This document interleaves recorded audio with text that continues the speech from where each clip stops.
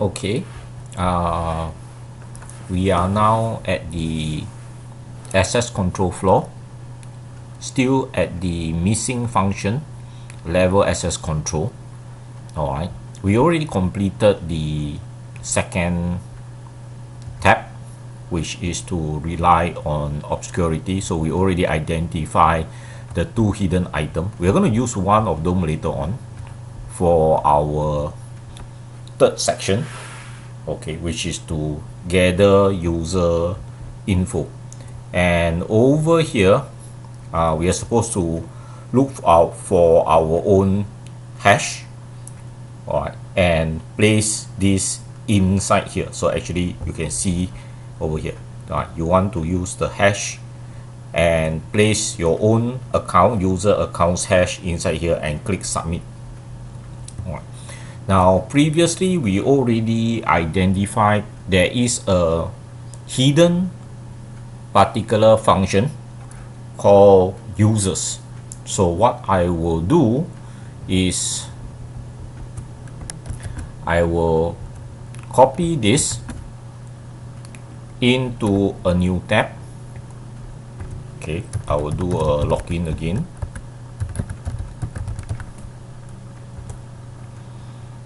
alright and I will try to look for the slash user. There is a S right which we found previously. And this is what I obtained alright which one user in WebGoat. Actually, there can be more than one user, but because I only register one, so I only end up with only one single user in WebGoat. But for this section uh, of the lab, I actually need to use my Zap. That's why my Zap is actually running at the back and you can see that it is actually intercepting everything. Now, I need to do this part a bit quick, but I will try to explain the process is I need to load this and at the same time I need to actually uh, find the package that creates the get get uh, for the site. Okay so let me just very quickly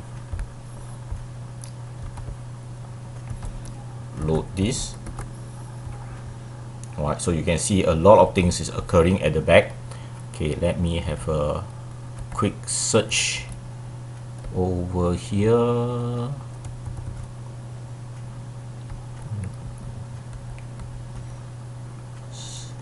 I'm looking for the user. Right, the one that actually creates this particular page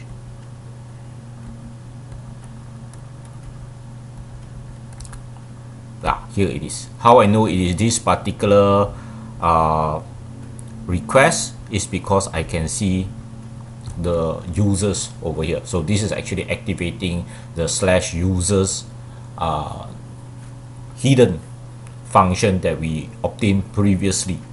So now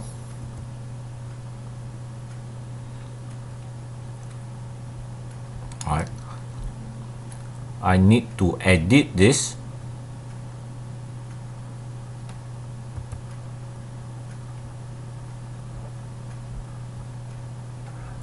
oh, though this one is the path.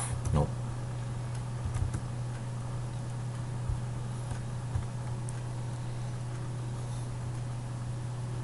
Ah okay. I will use the request editor. Okay so now I can see the user over here. Uh, I actually changed my view alright to so that I can actually see the response down here. Uh, by default it's actually on another tab but I don't usually like that uh, approach or, or that particular uh, interface. Alright. So what I need to do now is I need to make a few changes. First change look for the accept. Alright. Currently the accept is using text HTML uh, I will need to change this. Okay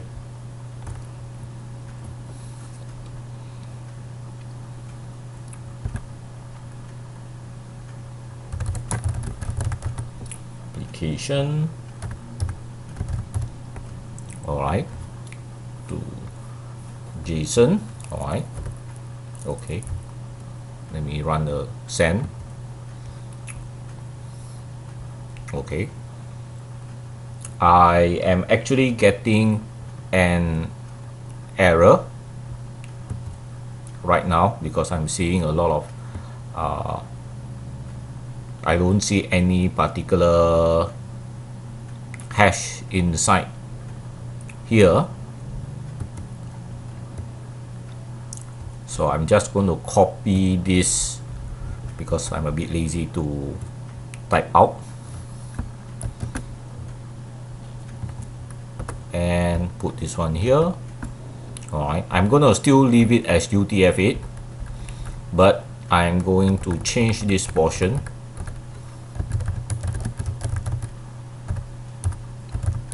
alright so that my content type is also application JSON but of course I'm still using the UTF-8 character set. And I do a send. And now I can see this is what I want. See? This is me my username.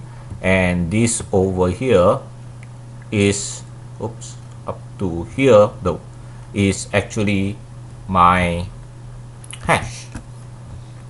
Alright uh, of course every user will have a different hash anyway. Now let me go back to the previous tab. Alright this is the original one. And I'll paste my hash inside here. Oh it's quite long. And click submit. And done. See? Now I get a congrat message.